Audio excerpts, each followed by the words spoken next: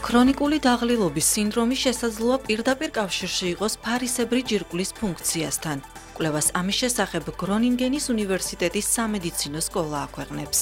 კვლევის მიხედვით მეცნიერები ვარაუდობენ, რომ ფარისებრის ფუნქციის დაქვეითება შეიძლება იყოს ქრონიკული დაღლილობის მიზეზი. ამ კავშირის მიზეზი კვლევის ავტორებისთვის ჰიპოთირეოზის დროს ორგანიზმის საპასუხო რეაქცია გახდა.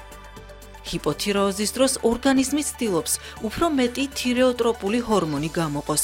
მსგავსი მოქმედება ქრონიკული დაღლილობის სინდრომის მქონე პაციენტებში არ ხდება. აქედან გამომდინარე კვლევის ავტორები ვარაუდობენ, რომ ფარისებრის დაბალი აქტივობა არის ქრონიკული დაღლილობის მიზეზი დაავადების არარსებობის შემთხვევაშიც. მეცნიერები დამატებითი მტკიცებულების მოსაძიებლად კვლევას განაგრძობენ.